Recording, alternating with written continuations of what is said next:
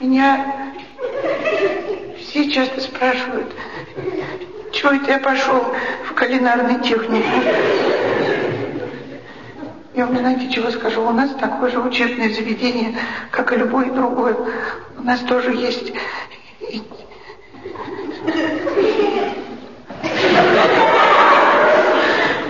Чего ты боишься?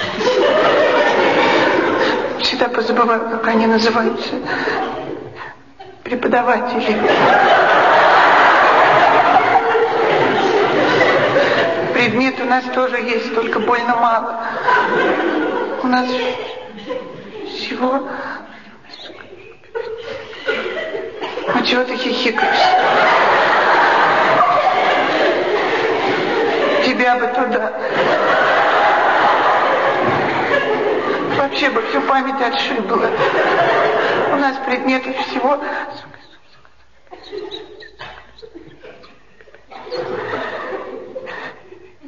не считается. От физкультуры меня освободили. Я плавать не умею. Меня вода не держит. Предметы-то, господи, три штучки.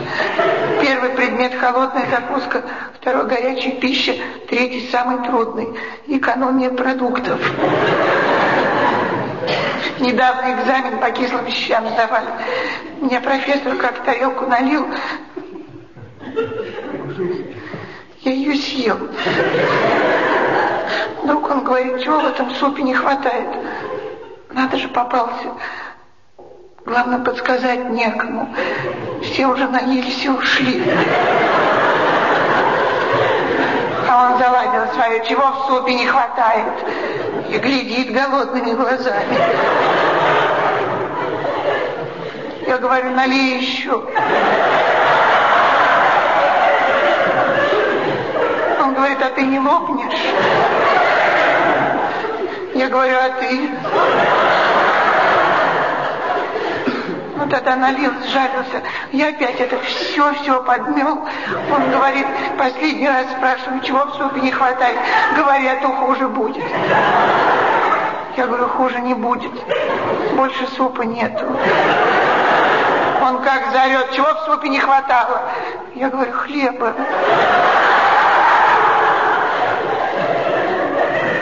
вам ха-ха-ха. А мне пару поставили. И чуть из техникума не выгнали.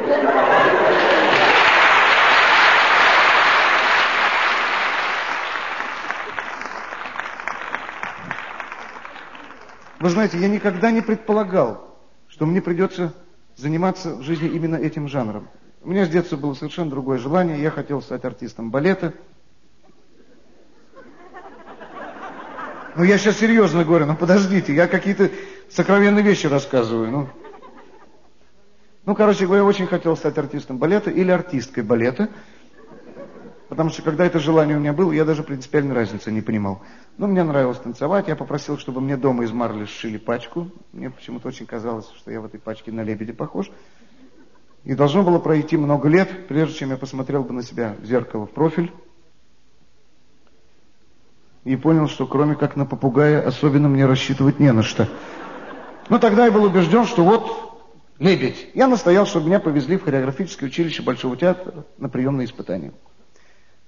Первый тур был отборочным, э, сказать, отборочный тур по физическим данным. Комиссия скептически смотрела на эти данные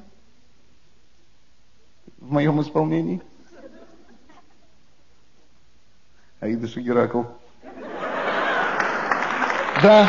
И председатель комиссии очень так аккуратно спросил, мальчик, ты такой худенький, как ты будешь балерину переносить с места на место? Несмотря на небольшой возраст, я был нахален явно не по возрасту. Я сказал, что у нас в стране равноправие.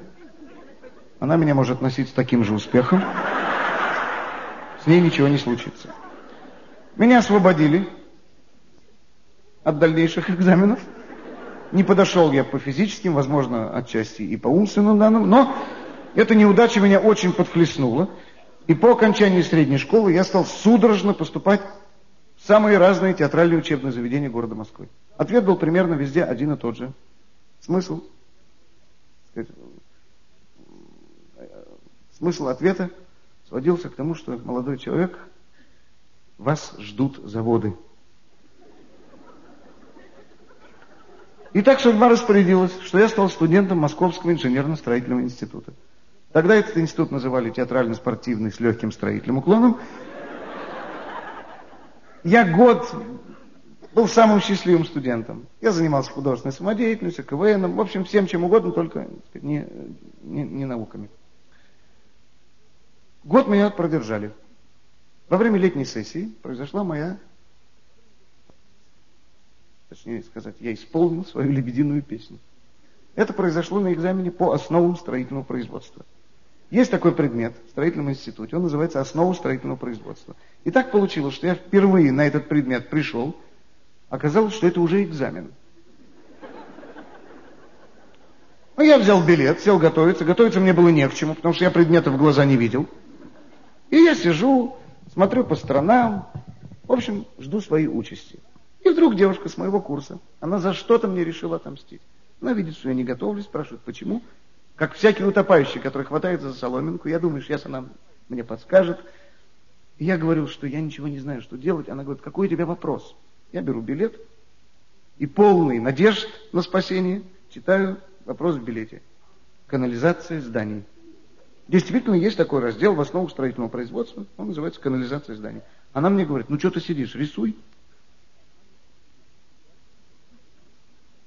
Ну, я рисую, как я себе это представляю.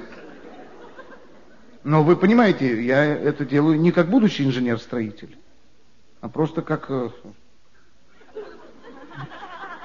смертный посетитель. Она видит, что я делаю все не то.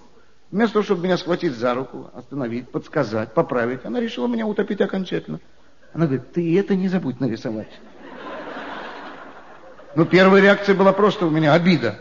Что я туземец, что она мне подсказывает, какую-то ерунду, что я никогда не пользовался. Ну, я и это нарисовал, все. Торопиться мне было некуда. Я сижу, раскрашиваю, тени накладываю. Потом, когда это художество закончил, я рамочкой обвел все это, чтобы это солидно выглядело. И с этим научным проектом я отправился к профессору. Мало того, что это был профессор, Оказалось, что это еще автор учебника по этому предмету. Милейший, интеллигентнейший человек был профессор Осипов. У него немного было волос на голове. Он сам э, смешно называл свою прическу. Их оставалось только трое. Но когда он увидел мой научный проект, эти трое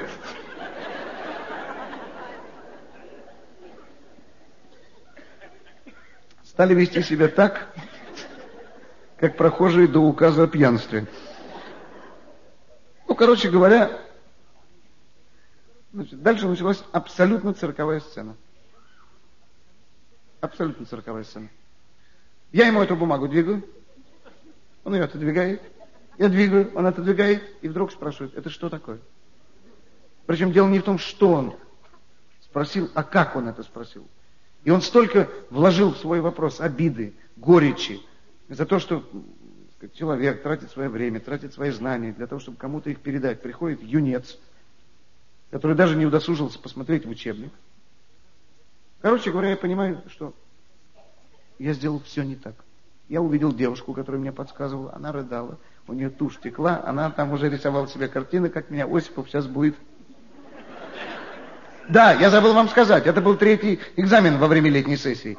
На двух предыдущих я набрал в общей сложности 4 очка, так что мне оставалось уже до шести не так много, чтобы я мог себя чувствовать абсолютно свободным.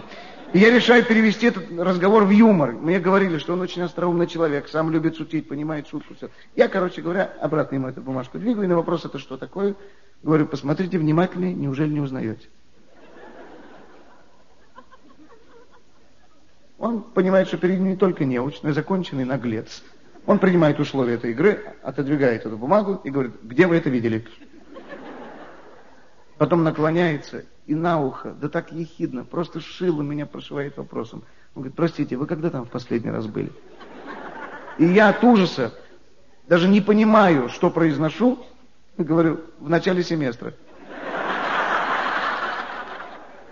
Он рассмеялся и сказал, зачем же так мучиться? Взял зачетку, бросил ее к двери и говорит, идите, сходите еще раз.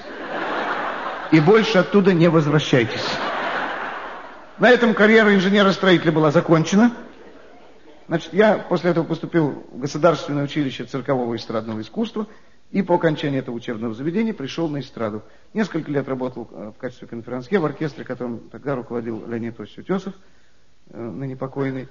И где-то с начала 70-х годов стал работать на эстраде просто уже самостоятельно.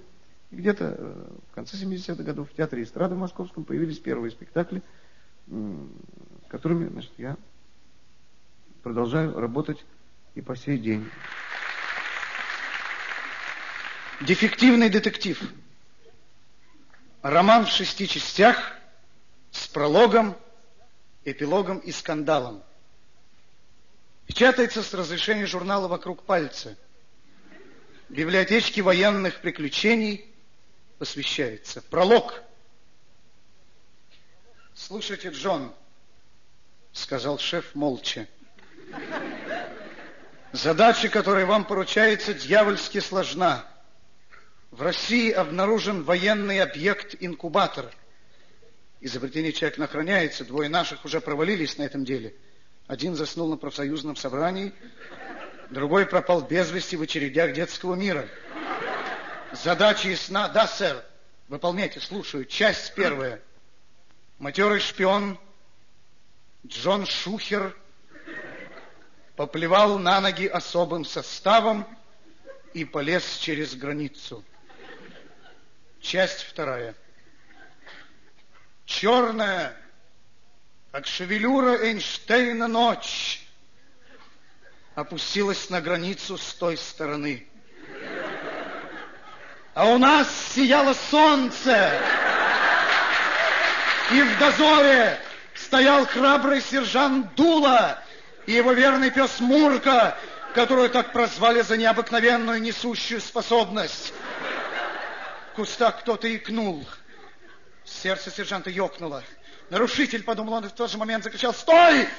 Кто стоит?» Оценив обстановку, Дула присел в кусты. В глаза сразу бросился свежий, огромный, нечеловеческий след. И в этот момент Дула почувствовал, что его ударили чем-то тяжелым и пыльным по голове и он потерял бдительность. Друг мой Мурка, тяф-тяф, я, кажется, убит. У-у-у! Беги на заставу и скажи, что в квадрате 46. Тяф-тяф, 45! Правильно, 45 неизвестный перешел границу. Тяф-тяф, есть! Часть третья. В кабинете майора противопожарной безопасности Глыбова тревожно зазвонил будильник. Майор Глыбов не дремал, он спал. Сержант, сержант Пробка, я? Бдишь? Так точно, бдю. В квадрате 45 неизвестно перешел границу дозволенного. Приказываю отцепить все неотцепленное. Бузде! Проверить все места общественного и необщественного пользования. Бузде! Ваши мысли, мысли нет! Выполнять есть! Часть четвертая. В этот момент в кабинет Глыбова вошел человек в телогрейке с мозолистыми руками и с честными глазами на открытом обветренном лице. Здравствуйте, товарищ майор. Здравствуйте, Невжилкин. Откуда вы меня знаете? Мы все знаем. Доложите обстановку. Захожу я в ресторан, гляжу, все кругом пьют, и только один не пьет. Ну, думаю, не наш человек. Я сразу к вам прибежал. Правильно сделал, у меня к вам важные задания. Сейчас вы от меня получите очень важный пакет. С этим пакетом доберетесь до деревни Кукушкина. Пойдете по стороне параллельной экватору, но в противоположную сторону. Увидите три скирды. Возле третьей вас будет ждать неизвестный. Пакет отдадите ему. Неизвестным буду я. Часть пятая. Внимание дружинника Матерщука привлек растленный пропойца. Наметанный, набитый глаз дружинника сразу заметил еле приметную деталь. Этот тип шел на руках. Руки вверх! Скомандовал храбрый дружинник и в ту же секунду почувствовал, что ему в который раз проломили череп. Часть шестая. Местком военного объекта инкубатор экономично освещался лунным светом. Дверца сейфа щелкнула и легко поддалась. Джон Шухер с облегчением вздохнул и в ужасе отпрянул в сейфе. Рядом с важными документами виднелись два умных, проницательных, чуть-чуть усталых глаза майора противопожарной безопасности Глыбова. Мистер Икс, он же Игрек, он же агент иностранный, разве не надо? Не пытайтесь отравиться. На вас уже давно сменили пиджак. Пройдемте. Эпилог. А над нашей границей утро все занималось, занималось и никак не могло заняться.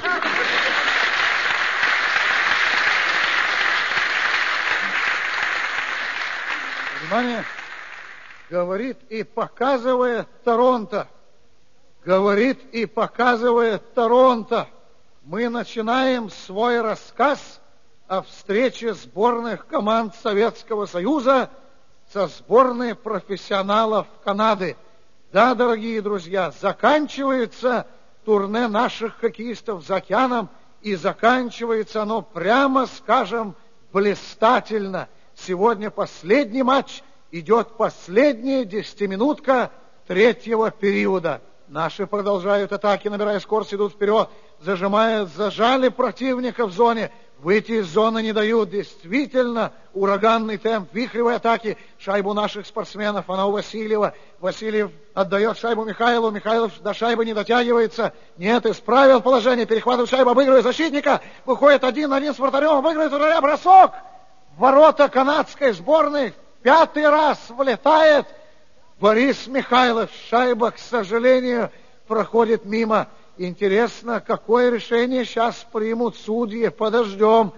Да, вот видите, судьи шайбу не засчитывают. Жаль, а то уже было 5-2. Ничего, ничего, наши не унывают, отошли назад.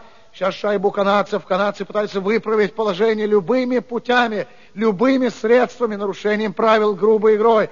Все время провоцируют наших, а наши не отвечают, не хотят вступать в драку правильно делают, поэтому пропустили две шайбы всего. Вот видите шайбу канадцев, они опять в нашей зоне, шайба за воротами, прямо на пятачке какая-то, прямо кутерьма получилась.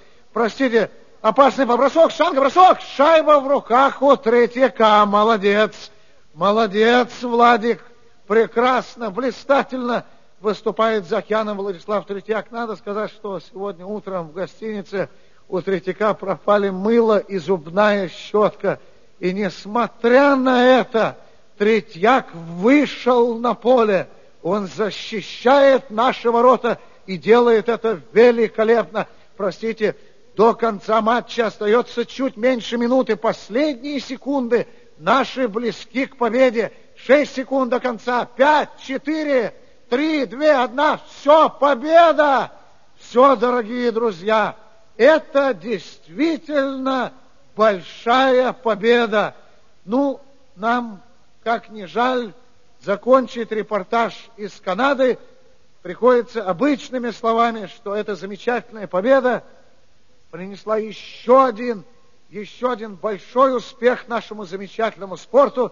Передача была организована нашим замечательным радио и замечательным телевидением. Вел репортаж наш замечательный комментатор В начале этого года я купил новый радиоприемник. Хорошо внешне оформленный, просто можно сказать, что он красивый. Но такое впечатление у меня, что сделали его в конце месяца. Потому что что-то в нем все время щелкает, ёкает. И как-то этот приемник без посторонней помощи с одной станции переходит на другую. Я хочу показать вам, как он у меня работает. Московское время, 12 часов 15 минут. На волне маяка новости науки и техники. Сегодня мы приглашаем к радиоприемнику.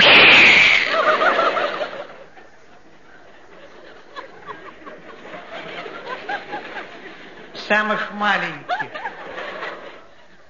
Послушайте сказку про красную шапочку. Испекла однажды мама красной шапочки вкусные пирожки, которые выдерживают давление до 50 атмосфер. Ими можно забивать сваи, дробить горные породы и руду. Опытная установка была доставлена в Москву, где ее по достоинству оценил серый волк. Облизнулся он, щелкнул зубами и сказал, мы с вами находимся в механосборочном цеху. Перед нами главный инженер завода Василий Петрович Красная Шапочка. Иду я к бабушке, а в корзинке у меня два новых прокатных стана. Они повышают производительность труда на 10%. Но чтобы они работали еще лучше, надо дернуть за веревочку. Тогда волк помчался по самой короткой дороге, а красная шапочка пошла по тропинке, собирая ягоды и напевая веселую песенку о хищении государственного имущества. Мы подключили сигнализацию. И теперь достаточно нажать на кнопку. И нет бабушки. Улегся волк в постель, бабушку переваривает и ждет, когда придет работник уголовного розыска. Невольно хочется задать представителю управления вопрос. От чего у тебя такие большие уши? Они мне помогают выпускать только отличную продукцию. С этими словами волк набросился на красную шапочку и проглотил ее. Это большой успех всего коллектива.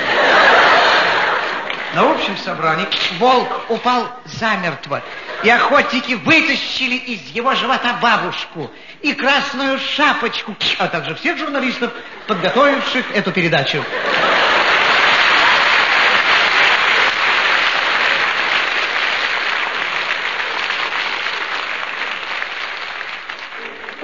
Женится. Некоторые, конечно, по любви, некоторые по глупости. А я хотел жениться по... Почему же я хотел? Всегда позабываю слово какое-то трудное. По производственной необходимости. Вообще-то мне девушки нравятся, только я их боюсь очень. Я не знаю, про что с ними говорить надо. Я ни, ни за что первым не могу подойти. Она сама ко мне на кухню пришла, прям подошла и говорит, вы этот бульон так пересолили. Я даже растерялся. Я говорю, какой же это бульон? Это же компот. Она говорит, если это компот, почему в нем цыпленок плавает? Я говорю, потому что он еще маленький. Летать не может. Она сразу, тогда скажите фамилию. Я говорю, и фамилии у него нету. Он инкубаторский. Она говорит, а вы? Я говорю, я тоже. Ну, так и познакомились. Потом уже стали часто-часто встречаться в кабинете директора. А директору это надоело. Он говорит, давай расчет бери или женись на ней. И трави ее дома. Если она раньше тебя это не сделает. Пришлось к ней домой идти. Дверь открыла какая-то женщина, наверное, мама ее. Она говорит, вам чего? Я говорю, жениться пришел. Она говорит, я уже замужем. Я говорю, а мне все равно. Даже еще лучше. Мне ваша дочка нужна. Она говорит, вы откуда такой взялись? Я говорю, я взялся из кулинарного техникума, а сейчас прямо вы из ресторана. Она говорит, вы что там, выпили? Я говорю, нет, я с собой принес.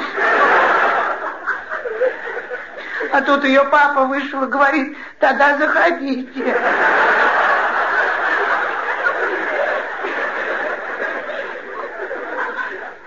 Я зашел, а он спрашивает, вы давно с Леной знакомы? Я говорю, значит, ее Лена зовут. А вы ее папа? Он говорит, нет, я ее муж. Я говорю, а я кто? Он говорит, а ты нахал из кулинарного техникума. Я говорю, тогда дайте мне хоть справку-то для директора, что она замужем. Он говорит, я тебе сейчас дам справку, что у тебя сотрясение мозга. Я говорю, с печатью. Он говорит, с круглой. Я говорю, но у меня же нет сотрясения. Он говорит, ну сейчас будет. Хорошо, что я быстро бегаю. А то если бы он меня догнал бы, ох, я бы из него такую тюфтелю сделал, никаким гарниром не закроешь. Дорогая,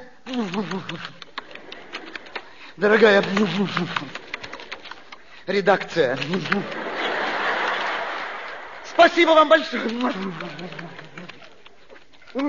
Я так счастлив, спасибо вам большое. Я сегодня открыл последний номер вашего журнала и вижу, напечатали мою первую в жизни повесть. Вот она, смотрите, вот она. Спасибо вам большое. Я только уточнить хотел, что в моей повести действовал инженер с окладом 140, а у вас получилось 240 почему-то.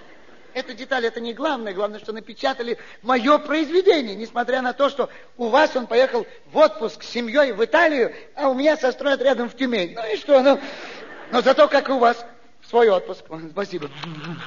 И на заработанные там денежки он подарил жене флакончик рижских духов, а, а не картину Пикассо в подлиннике. Я не к тому, чтобы придираться, боже упаси, я просто, чтобы ясность нести, у меня так Плохо, машинка печатает, наверное, вы не все разобрали. Вот, например, с третьей главой. Я когда вам повесть послал, у меня была третья глава. Ну, это там, где после работы он приходит к своей любимой, они там ха-ха-ха, вот. А потом он не может найти туфли свои, носки. У вас этого вообще нет. Вообще нет, только многоточие, а потом вставлена фраза, что он был на собрании. Тогда непонятно становится, почему он в собрании вернулся к жене в женских тапочках на босу ногу. Понятно? Главное, я подробно написал, как его встретила жена и чем. Ну что это такое? Ну, у вас вместо этого жертв разрушений нет. Хотя это несущественно. Главное, что напечатали. Напечатали мое произведение. Просто очень трудно узнать. Ужасно просто. Трудно узнать, например, во что этот инженер был одет. У меня и во что у вас. Э, это не батник, это ватник. Ватник. Потом, где же он взял эту дачу? Где же он взял эту дачу, этот видеомагнитофон, эту яхту? Я, конечно, рад за него очень. Но вы вдумайтесь, ведь он инженер. Он наш инженер, понимаете? А не какой-нибудь там официант и даже не хоккеист. Вот, кстати, этот спор о хоккее, кто они на самом деле, любители или матерые профессионалы. Почему-то в моей повести получилось, что спор идет о канадцах. О каких канадцах? Господь с вами. И потом, ради бога, объясните мне, что такое м, омары. Омары. У меня этого нет, у вас встречается в сцене обеда в заводской столовой. Вот. И потом это прекрасные слова «мир», «труд», «май». Но на стенке лифта было нацарапано совсем другое. Что вы? Зато, зато концовка у вас получилась лучше. У меня он разводится, а у вас сходится. У меня он бросает родных детей, а у вас усыновляет чужих. Правда, у меня его звали Иван Григорьевич, а у вас его зовут Алевтина Петровна.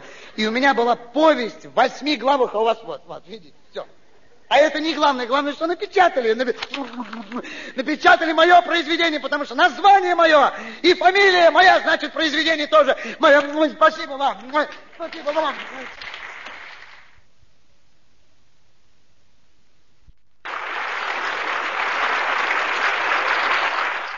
Я никогда не думал, что какая-нибудь мелочь может испортить большое чистое чувство.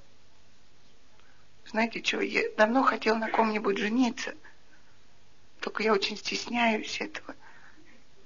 Но я могу еще с девушкой познакомиться, конечно. Но дальше чего делать, я уже не знаю. А Нина оказалась такая смелая. У нас не дело далеко зашло. Она даже ко мне один раз домой приходила. Мы с ней целый вечер арбуз кушали. Арбуз такой вкусный был, я четыре куска съел. А потом уже, когда пошел Нину провожать, почувствовал, что зря я столько арбуза съел. Но было уже поздно. И вот мы идем с ней, а я внимательно улицу осматриваю. И вокруг только большие дома, а маленького домика нигде нету. Она говорит, у тебя чего-нибудь случилось? Я говорю, нет, ну может. Она говорит, а чего ты все время ищешь? Я говорю, чего, чего я этот ищу? Кулинарный техникум. Я говорю, если можно, пойдем побыстрее. Она говорит, может, ты меня провожать не можешь? Я говорю, провожать я тебя могу, я медленно идти не могу. Она говорит, поедем на автобусе. Я говорю, ты что, там народу много. На меня могут надавить. И мы пошли побыстрее. Ну, нету маленького домика, и все. Ну, чего? А есть только милицейская будка. Я подхожу, говорю, товарищ лейтенант, я у вас хотел спросить, где... Он говорит, что? Я говорю, тише. Тише, то девушка услышит.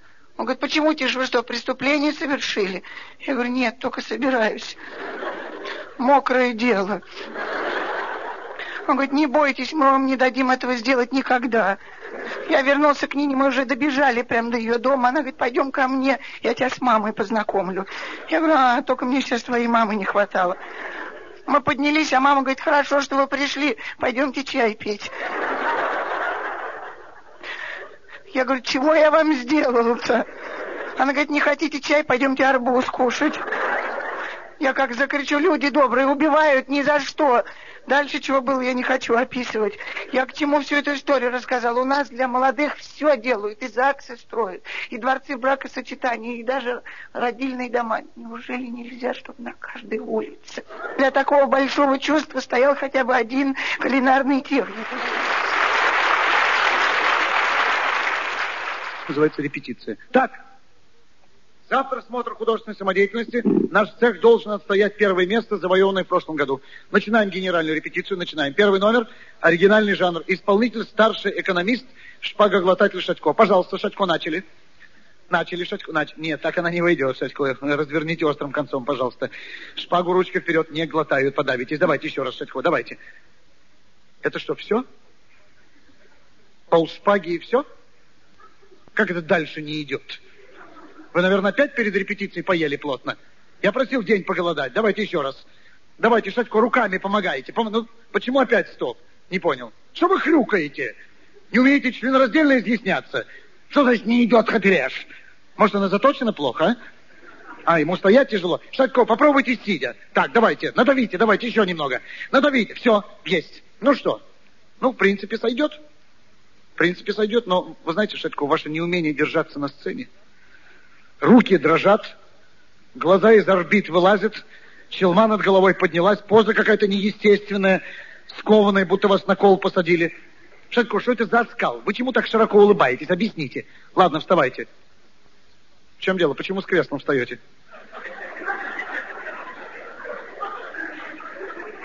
Как насквозь? Кто готовил шпагу? Смирнов, вы?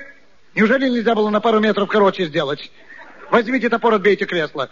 Я сказал, кресло от Шатько, не Шатько от кресла отбивайте. Шатько, кланяйтесь зрителям. Почему вы качаетесь, как Ванька-встанька? Господи, выньте шпагу из него и конец. Как не выходит? Уже, не, может, она не то горло вошла? Постучите ему по спине как следует. Не надо креслом, руками стучите. Кошмар, унесите его за кулисы, дайте ему там на шатырь. Так, пошли дальше, быстро, времени совсем нет. Танец умирающего лебедя. Петровна, вы готовы? Начали плавность, Петровна, плавность, Петровна, в 62 года пора знать, что такое плавность. Давайте, Петровна, плавность. Петровна, вы же лебедь. Перестаньте кашлять. Так, теперь давайте легким изящным движением разворачивайтесь лицом к зрителям. Разворачивайтесь. Петровна, я не могу так больше. Где вы видели лебедя в очках? Немедленно снимите, давайте еще раз. Так. Музыка Петровна, на месте не стойте, перемещайтесь, Петровна, перемещайтесь. Вы в озере, понимаете? В озере, а не в тазике. Перемещайтесь, Петровна. Хватит перемещаться, умирайте. Давайте, Петровна, умирайте. Умирайте, я сказал, или я умру. Умирайте! Петровна, господи, кто так умирает, а? Ноги не сгибайте, спина прямая, грудь выше. Теперь всем телом навзничь, давайте, Петровна. Навзничь с предсмертным криком, пожалуйста. Это хорошо получилось у вас, молодец. Так, Петровна, вы свободны. Почему она не встает? Быстро на шатырь, чтобы завтра на месте падения поролон лежал. Так, последний номер, отрывок из трагедии Шекспира Телла. Открывайте занавес, Дездемона спит, Дездемона спит, спит. Дездемона, почему вы в каске, объясните. Вы на супружеском ложе, а не у доме печи. Так, давайте, снимите каску, наденьте чепчик. Хорошо. Так, давайте, спите. Плохо, вы не спите, вы загораете. Обозначьте сон храпом. Давайте, обозначьте. Громче, с присвистом. Ну, давайте, ну. Гениально. Так, кое-то Телла. Иванов. Иванов, входи. Иванов! Почему вы белый? Иванов, вы не знаете, вы мавр, понимаете? Я не понимаю, что значит гримания. Дайте Иванову гуталин, давайте. Хорошо, везде, везде, везде, везде, под мышками тоже, везде, давайте, везде. Так, входит Отелло, давайте. Отелло, как вы идете? Вы идете не на футбол, понимаете? Вы идете душить жену, понятно? Нет, вытащите руки из карманов, выплюньте сигарету, давайте еще раз. Так, Отелло входит, Дездемона спит, давайте, храпите громче, вы не на работе, давайте, быстро, ну. Иванов, душите ее. Я сказал, душите, Иванов. Ну, Иванов, неужели вас семейного человека надо учить, как жену душить, а? Давайте, ну, с энтузиазмом, с огоньком, давайте, ну, с настроением. Душите ее к ядрене пени, а то я задушу и все. Вас задушу. Иванов, так белье выкручивают, они жену душат. Я не знаю, что значит не могу. Мне не касается, она ваш начальник. Представьте, что она ваша теща, у вас получится. Быстро давайте, давайте. Хорошо, молодец, Иванов, талант. Талант, хватит, Иванов, душить, хватит. Иванов, брек, Иванов. Оторвите его. Живая там Дездемона, да? Все, репетиция окончена. Завтра все не заняты в этой сцене, чтобы с бронзбойтами стояли. На шатырь мне, репетиция окончена. У нас на работе еще месяц назад слух прошел, что всех будут ловить. Всех будут ловить и в спортивные секции записывать. Нам прямо сказали, конечно, физкультура дело добровольное, но пока все не запишутся, зарплату никто не получит. Я так просил меня освободить. Я же предупреждал, когда я в этом участвую, только хуже бывает. Я говорю, вспомните, вы меня в позапрошлом году на водные лыжи поставили, чтобы они утонули все когда-нибудь. Неужели, говорю, вам мало этого? Я эти водные лыжи первый раз в жизни увидел. Вы знаете, как там? Там веревка, на концах крючки. Один крючок катеру цепляется, а другой в руках держишь. Я все так сделал. На старт встал. Вдруг катер как дернул. Крючок из рук вырвался. Рядом, как на грех, стояла наша начальница отдела кадров в японском купальнике. И крючок за купальник зацепился. У меня, кстати, к японцам претензии. Вот они купальники делают, по крепости против нашего катера они ничего не стоят. А ругали потом меня. Я из-за этого третий год подряд в отпуск зимой хожу. Хотя мой катер с купальником вторым к финишу пришел. Первый прибежал начальница отдела кадров. Или, говорю, в том году в биатлон записали, хрен редьки не слаще.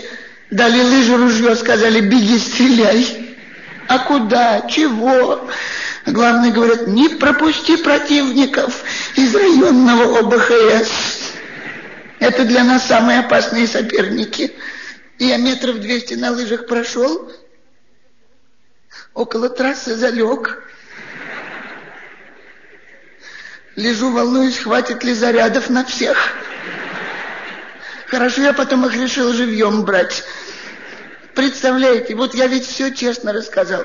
Я думал, что меня освободят на этот год. А они говорят, ничего, ничего, пойдешь на безопасное соревнование, называется «Охота на лис». На самом деле никакой охоты, никакого ружья.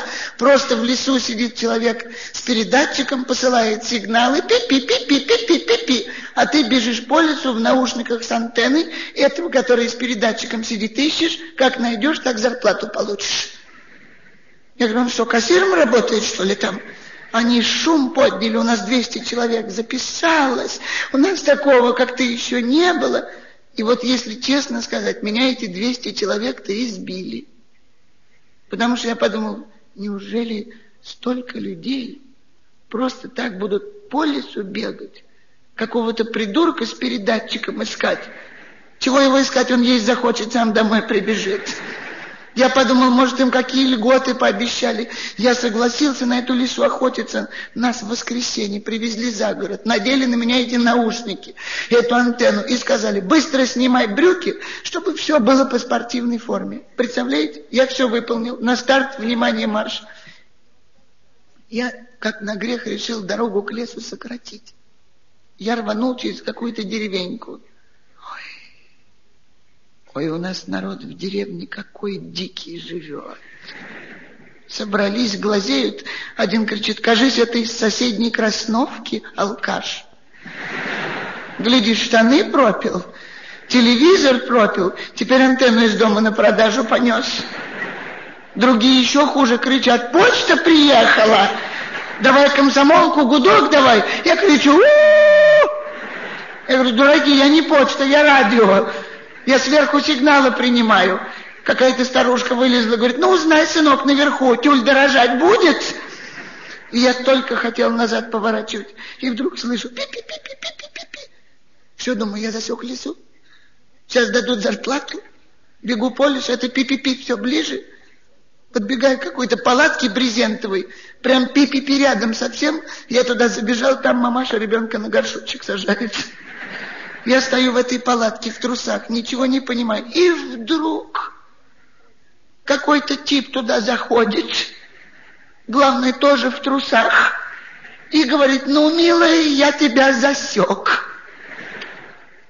Меня такое зло взяло. Я говорю, извините, я же первый прибежал. У вас второе место будет. Он говорит, я тебе сейчас дам второе место, я ее муж. Я говорю, в спорте все равны. Не спорьте, вставайте за мной. Он как заорет. Аня, поздравляю, к тебе уже в очередь записываются. А я ему, знаете, на это что сказал? Я говорю, а ты как думал? Нас к этой лисе уже 200 человек записалось. И дальше ничего не помню. Помню, что он меня бил по антенне. Отвалились наушники.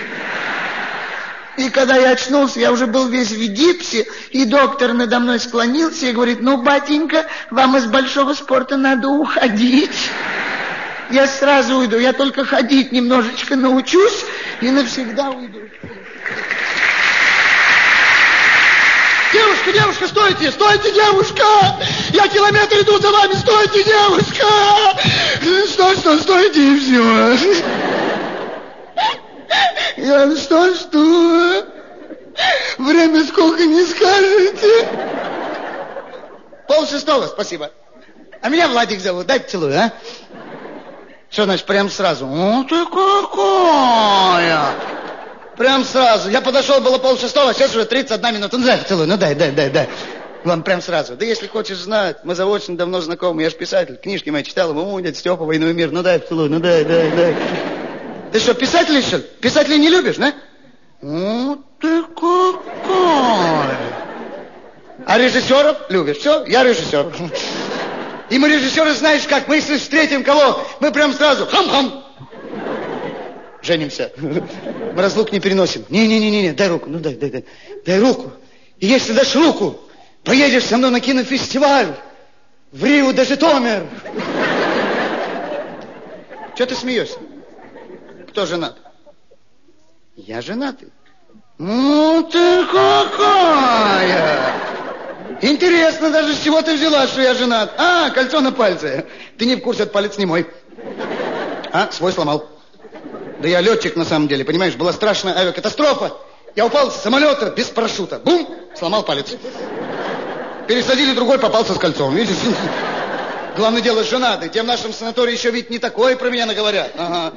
Неужели ты не понимаешь, что они нашему счастью завидуют? Еще бы. О! За моряка каждый хочет выйти. Опять не веришь. Ну хорошо, давай так. Веришь, что вчера вечером я тебя увидал? Всю ночь я не спал. Веришь? Что, что, что? Что, что? Что, что тебе Наташка сказала? Тебе Наташка сказала, что я ночь не спал.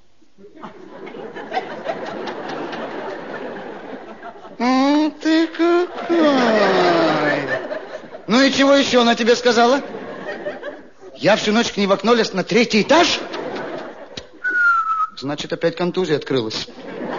Да ты не знаешь, я на самом деле шахтер. И была ужасная авария. И теперь мне ночами, ночами кажется, что засыпало, понимаешь? Теперь им хочется наверх полезть. И чем выше, тем безопаснее. Чего говоришь, я Наташку хватал при этом? Ну, я какой! Правильно, на худая, наверное, я ее за отбойный, за отбойный молоток принял. Ну что, ой, ой, как тебе верит, то летчик, то шахтер. Все, тебе одно скажу. Иди ближе. Вот встань сюда. Я секретный физик. Закон кулона слышала? Моя работа. Я понимаю, ты думаешь, для меня это курортный роман? Вот чтобы ты поняла, что для меня это на всю жизнь. Пиши домашний телефон. Мой домашний телефон, пиши, пиши. 09. Спросить Владика. Да, адрес домашний записывай мой. Я без адреса вообще целоваться даже не собираюсь. Адрес такой, Узбекская ССР, Киевская область, город Рига, Владику до востребования. Все. Я не понимаю, ну что, после этого все равно кажется, что... Вот после всего этого тебе все равно кажется, что я... Ж, ж, тебе что, документ показать? А? Вот прям документ с печатью показать и... Ну ты какая! А, значит, словам ты не веришь, и по глазам ты прочесть не можешь. Вот тебе документ с печатью, и читай, что написано. Печать видишь, а теперь читай текст. Действительно, на сентябрь для проезда в трамвае и метро. Покажи, где написано, что женатый. Покажи, где написано. Какая Люська? Какую Люську еще вспомнила? Господи, знаешь, сколько лет мы с Люськой знакомы? Мы с Люськой просто друзья. Я тебе говорю, что мы просто... Мало что ребенок у нее от меня, неважно. Я ей как другу. Ага, ага, ага. На 8 марта. Небольшой сувенир. Э, куда пошла? Куда ты пошла? Ты, э, куда побежала? Будешь себя хорошо вести, я тебе подарок сделаю. Куда пошла?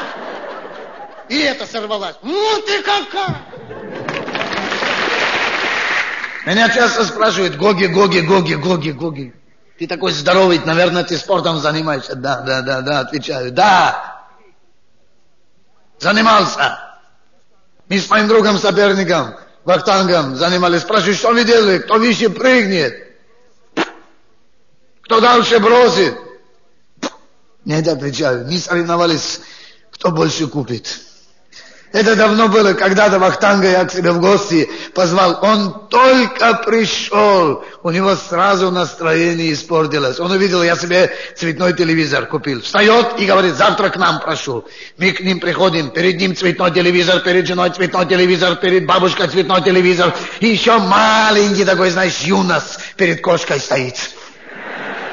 Мы встаем, говорим, завтра приходите к нам. Они к нам приходят. У нас итальянское блюдо спагетти. Ну, ты знаешь, а маленькие, эти длинные тонкие макароны. И жена Вахтанга говорит, ва, эти спагетти, я жую-жую, они все по вкусу резину напоминают. Моя жена отвечает, дорогая, ты жадности уже телефонный шнур на вилку накручиваешь. Они встают, говорят, завтра к нам приходите. Мы к ним приходим. Какое соревнование чувствуешь? У них японское блюдо. Представляешь, вахтанг в кимоно. Вахтанг кимоно, жена в кимоно. Даже как японка ребенка на спину повесила. А мы не замечаем, час не замечаем, два не замечаем. И Вахтанг терпел, терпел. И потом говорит, почему не замечаешь? Неужели ты думаешь, ей легко ребенка на спине таскать? Ему скоро 22 года. Посмотри вокруг, говорит, у меня здесь в этой квартире все старинное. В этом кресле сидел сам Шота Руставели. Из этого кубка пил сам царь Давид. На этой кушетке лежала сама Тамара. Потом так небрежно говорит, вообще вы знаете, кто такая? Тамара, моя жена отвечает, как не знать, Тамара буфетчица, все знают, она к тебе в гости ходит. Кстати, говорю, завтра приезжайте к нам на дачу. Они на дачу приезжают. Я во дворе стою, Волгу новую продираю. Вахтанг ходит. Я говорю, Вахтанг, ты, наверное, на электричке приехал. Он говорит, да, на электричке. А я спрашиваю, почему ты машину не покупаешь? А он отвечает, ты понимаешь, время трудное, тяжело машину купить. Вот пришлось электричку купить. Вон там за домом стоит. Кстати, говорит, завтра приходи ко мне, у меня дрессированный говорящий попугай. И вот этот попугай, ух, я не знаю вообще.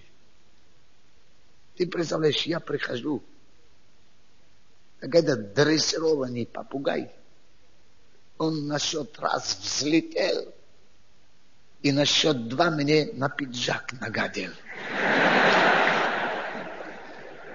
Причем скотина. Молча. Ни слова не сказал. Еще Вахтанг, знаешь, успокаивает меня. Ну что ты так нервничаешь, Гоги? Ты же все-таки попугай, это не слон. Я говорю, Вахтанг, завтра прошу ко мне. Не придешь, зарежу. И потом я пошел в зоопарк, договорился. Привел слона. Мы его с соседом на две квартиры поставили.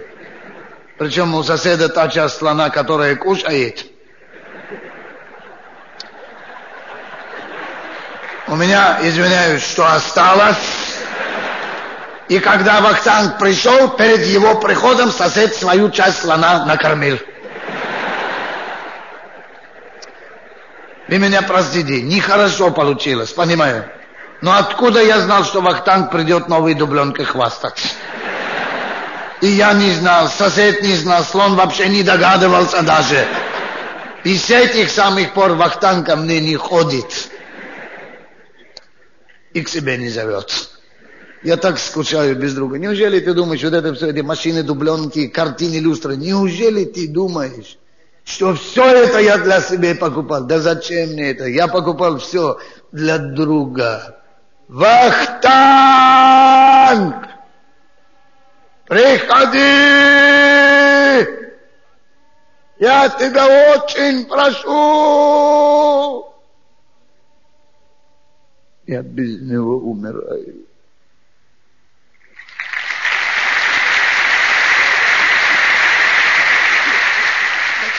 Издеваться. Я же просил, куда меня направить, а он меня послал.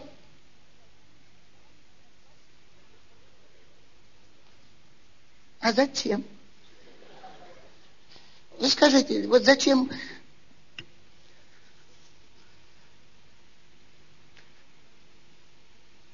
мужчине в положении идти в психдиспансер? Я знаю, что вы не верите. Я сам не верил, что такое бывает. Но я чувствую, что мне не по себе.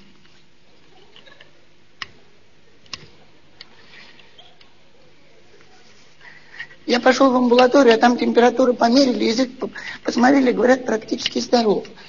А я-то чувствую, что я не знаю. Я решил сам определить, что со мной. Взял медицинский справочник, все болезни подряд стал листать. И на 48-й странице обнаружил.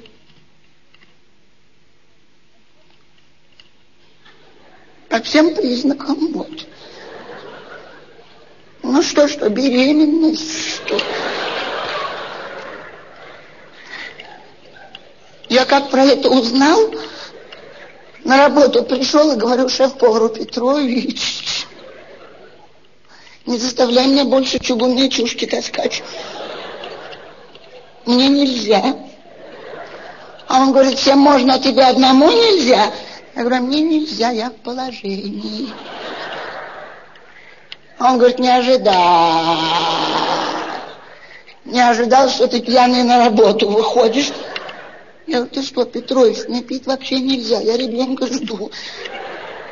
Мне, говорю, даже смотреть на тебя нельзя. Мне теперь только на красивое смотреть надо.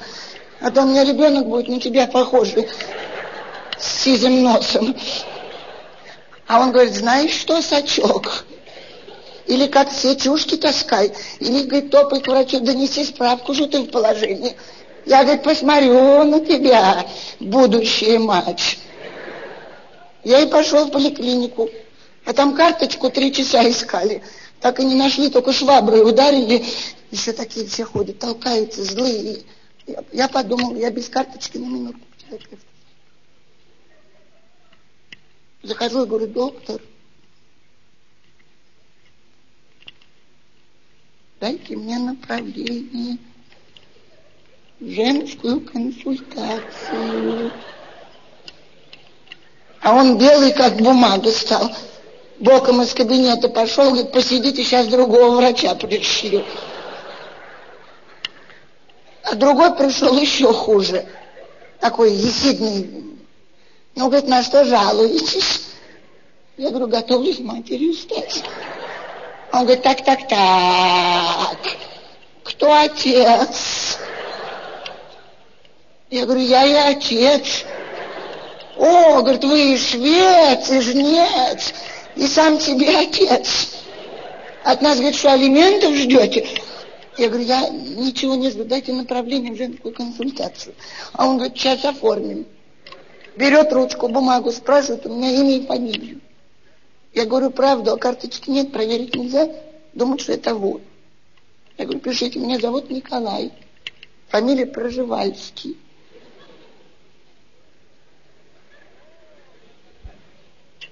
О, говорит, вы еще и Проживальский.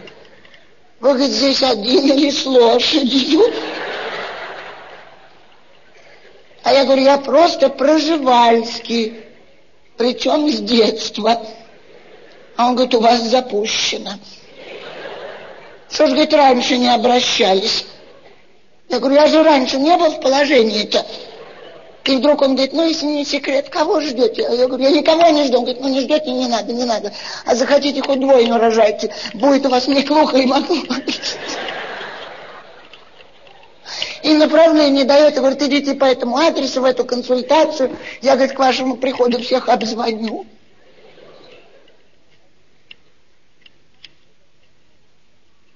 А я посмотрел, куда меня, меня вон куда.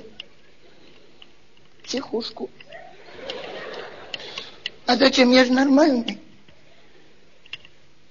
Правда, только я в положении. А признаки все сходятся. Во-первых, соленого хочется все время. Там рыбки, селедки корочки какой-нибудь. Так тянет. Потом вот плаксивый стал ужас. Там нахамят, нагрубят, толкнут. Раньше ничего. Сейчас прям сразу в слезы. И у меня, у меня еще признак есть. Говорят, это точно.